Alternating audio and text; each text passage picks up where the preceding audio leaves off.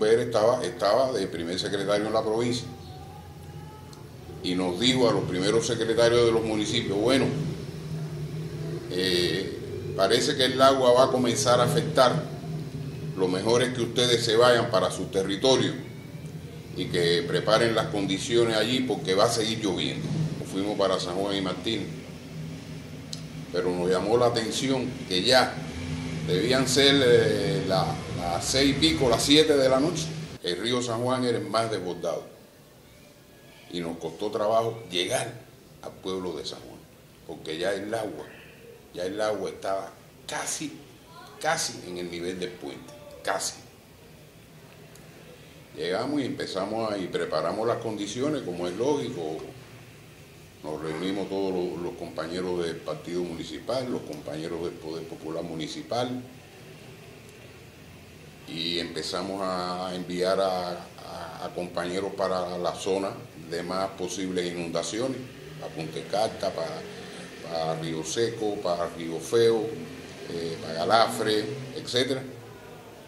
Y el agua entonces empezó a apretar. En mi vida había visto un agua tan grande como esa. A partir de ese momento de que el agua del río estaba por encima ya de, la falta, tuvimos que empezar a cambiar las medidas.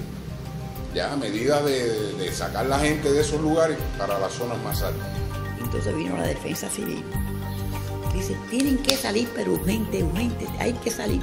Y el agua apretando, y apretando, la lluvia apretando, apretando, apretando, apretando. Oye, a las 11 o las 12 de la noche, ya el agua estaba dentro del pueblo. Ahí todo eso, toda esa parte ahí se inundó. Se metió en el cine, se metió en otro lugar. Aquello fue lo más negro del mundo.